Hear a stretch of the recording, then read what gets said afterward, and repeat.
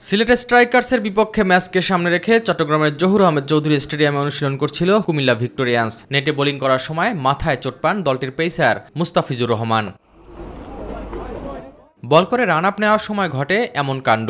Run up নেওয়ার সময় প্রধান কোচ মোহাম্মদ সালাউদ্দিনের ডাকে মাথা ঘুরিয়ে কোচের দিকে যাওয়ার সময়ই বল মুস্তাফিজের মাথার বাদিকে আঘাত করে। সাথে সাথেই মাটিতে লুটিয়ে পড়েন এই পেসার। বলের আঘাতে তার মাথা ফেটে যায়।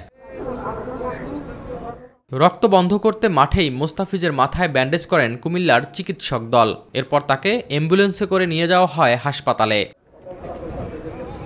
জানা গেছে, মোস্তাফিজের মাথায় পাঁচটি সেলাই লেগেছে। তবে সিটি স্ক্যান রিপোর্টে অভ্যন্তরীণ রক্তক্ষরণ পাওয়া যায়নি বলে জানায় Comilla ভিক্টোরিয়ান্সের physio S M Zahidul Islam. এবারের বিপিএলে নয় ম্যাচ খেলে এগারো উইকেট শিকার করেছেন Mustafizur Rahman. S M Arif my TV.